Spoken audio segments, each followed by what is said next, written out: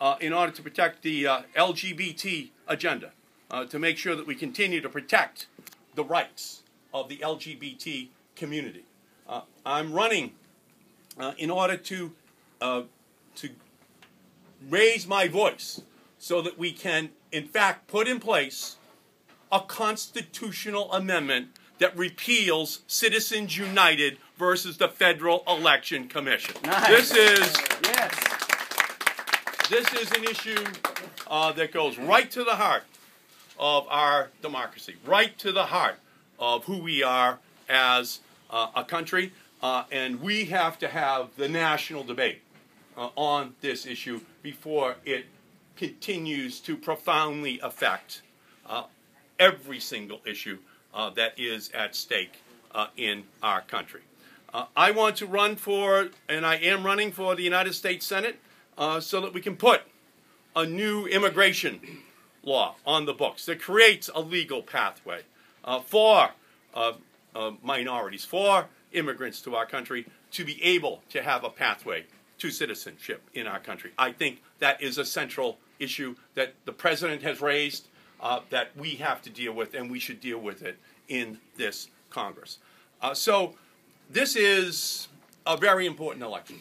The Republicans will try to win this seat, uh, and and uh, we just cannot avoid the reality of uh, their um, targeting of it. And so, from my perspective, I'm giving this race everything I've got. Uh, I'm running as hard as I can. Uh, and I'm running on an agenda which I believe the people of Massachusetts want to see implemented uh, in, um, in our country uh, for the next generation.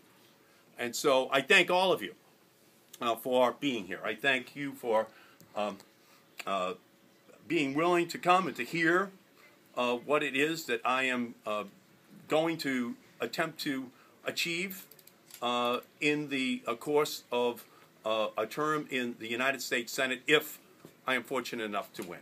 But I can't do it without your help. I can't do it without your support. I can't do it without uh, your voices being raised uh, to make it possible.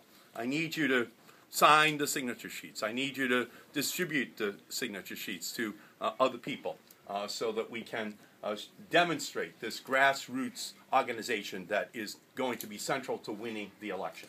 Um, Democrats do not agonize. Democrats organize.